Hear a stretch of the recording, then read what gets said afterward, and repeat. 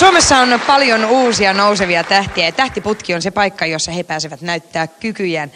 Evelina Kurki, sä, oot, sä olit 18-vuotias, juuri ajokortin saanut tyttö, joka on tuolta melkein itärajalta.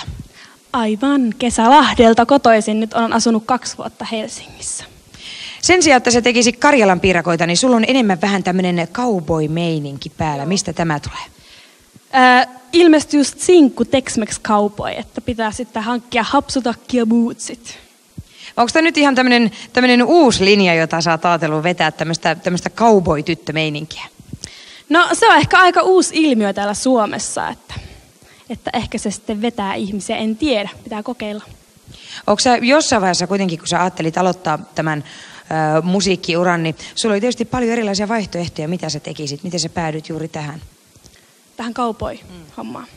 No itse asiassa se oli niin kuin meidän säveltäjien ja sanoittajien ansiota, että tämmöiseen sitten päädyttiin, että me on sitten mennyt vaan siinä mukana. Ja tuntuu hyvältä. Musiikkia sä oot opiskellut jo muutaman vuoden, mutta nyt meinaat kyllä tehdä jotain ihan muuta. Nyt vai? Ää, No me on nyt viimeistä vuotta lukiossa, että tota, sen jälkeen en tiedä yhtään mitä teen, mutta nyt me ainakin alan laulaa tässä lavalla ihan kohta.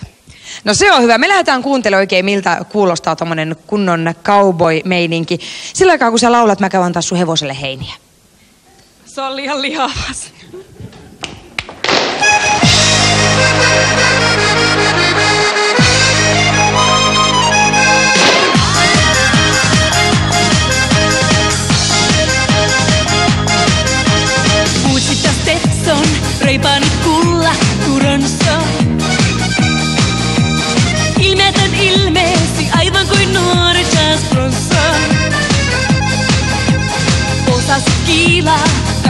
kiilatoi pöytää.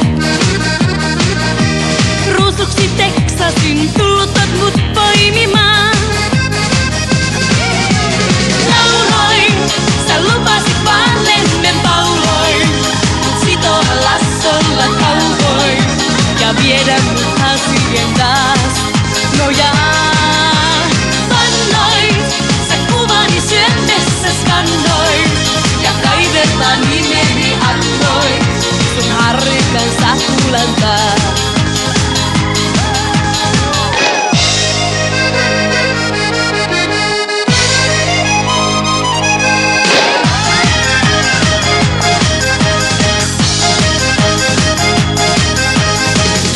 fiesta, ehdotit siestaa mun kanssa.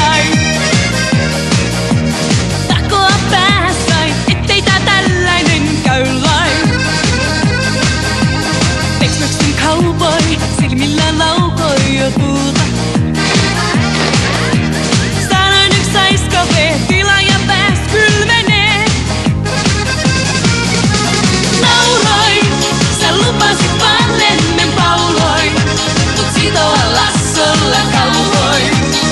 queda putas bien